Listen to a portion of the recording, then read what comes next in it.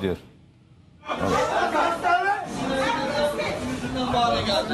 Gelmiş benim hatırımı soruyor.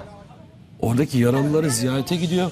Sözde hani oradaki yaralıları ziyaret etmesinin amacı yani oradaki hastanedeki yaralıları ve orada arkasından hı, hırsını alamıyor. Oradan bir bağırıp çağırdıktan sonra koşa koşa Peşinden kendisi koşuna de- içeri gidiyor. Ve- Çünkü Bak şu anda yaralılar gidiyor. ziyaretine izin vermediler. Tabii, tabii. Ne işi var bir terörist tipli adamın orada oturup da İş- böyle bir ziyaretin amaç ne?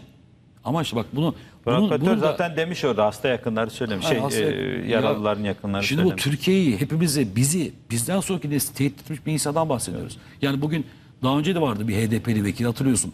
E, PKK sizi tükürüğüyle boğar. Evet, hepsi aynı bunların. Bu aynı tehdit. Buna benzer bir tehditte bulundu bu. Tabii diyor Yani çıkarır di- bakar. diğeri de öyle biliyorsun. Ahmet Şık da öyle. Hepsi- Devletiniz teröristtir diyenler. Bak devletiniz teröristtir diyenler. Devletten maaş alıyorlar. Ha, devletten maaş alacaklar. Bunlar şimdi devletten maaş alıyorlar.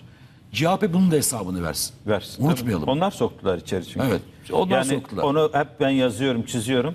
Bu Halk insanları insanı? Kürtler falan sokmadı. Yanlış anlaşılmasın. Evet. Yani Kürtler HDP'yi baraj altında bıraktı. Bıraktı. Demirtaş'a verilen oylar belli çünkü. CHP yüzünden şu adamlar Hatay'da girdi, diğeri İstanbul'da girdi Ahmet Şık. Bunlar hepsi CHP yüzünden baraj açtılar. Arkadaşlar Çok bunların açık da, net. bunların da kim olduğunu Tabii. bizim böyle tekrar tekrar anlatmamıza gerek tabii Hiç söylememiz lazım ama kim olduğunu anlamanız için hiç bizim konuşmamızı dinlemenize gerek yok. Atı- oturun e, Barış Atay'ın şimdiye kadar nasıl ülkeyi tehdit ettiğini, nasıl bir insan olduğunu bu görüntülerde bakın Çok artık ça- anlayın. Çok